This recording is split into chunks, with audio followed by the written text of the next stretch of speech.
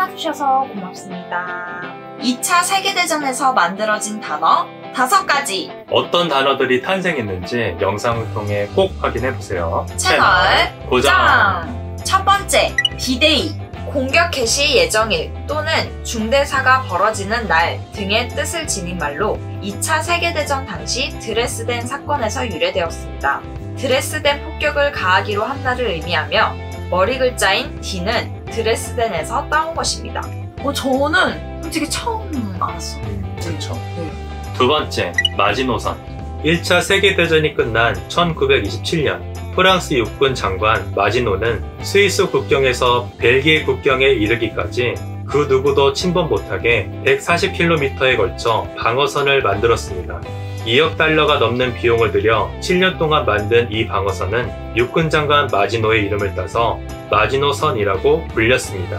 저는 얼마 전에 TV 프로그램을 보고 알았어요. 어, 네. 그래요?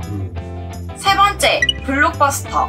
2차 세계대전 당시 영국에서 독일을 공격하는데 사용했던 폭탄의 이름으로 한 발에 한 구역을 무자비하게 날려버리는 힘을 가졌다 해서 붙여졌습니다. 당시 폭탄의 무게가 1톤 이하인 것에 반해 블록버스터의 무게는 1.4에서 5.4톤이었습니다.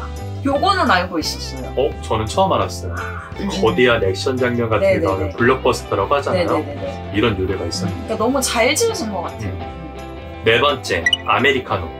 2차 세계대전 중 유럽의 농도 짙은 에스프레소가 입맛에 맞지 않던 미국 병사들이 물을 섞어 연하게 마셔서 탄생했다고 합니다. 이 모습을 본 이탈리아 사람들은 신기해하며 미국인들이 마시는 커피라는 의미를 담아 아메리카노라고 불리게 되었습니다. 저 처음 알았어요, 지금. 저도 처음 알았어요. 음. 우리가 흔히 먹는 커피 아메리카노가 네. 이렇게 유래가 그 되었죠. 아메리카 때문에 이게 붙인 거예요.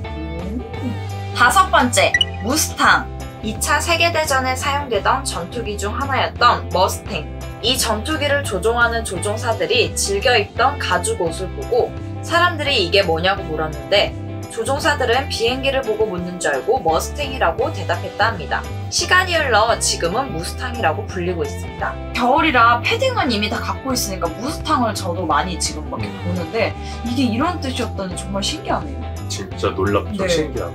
저는 그러니까 옷의 종류인 줄 알았어요. 이 외에 가디건도 전쟁 때문에 생겨난 단어인데 19세기 중반 크림 전쟁 때 한 귀족 군인에 의해 만들어졌다고 해요. 부상 장병들이 니트를 쉽게 이렇게 입고 벗을 수 있게 단추를 달았대요. 그래서 그 귀족 군인의 이름을 따서 카디건이라고 이름을 줬다고 하네요. 오, 이것도 처음 알았어요. 그러니까. 음. 지금까지 2차 세계대전에서 만들어진 단어에 대해서 알아봤는데요. 저는 진짜 신기했어가지고 금방 영상을 찍었던 것 같아요. 뭐 디데이, 블록버스터 음, 뭐 유래를 잘 몰랐는데 네네. 이번 기회를 통해서 아주 새삼 제대로 네, 네. 안것 같아요. 가디건을 볼 때마다 그 크림 전쟁이 생각이 날 것 같아요.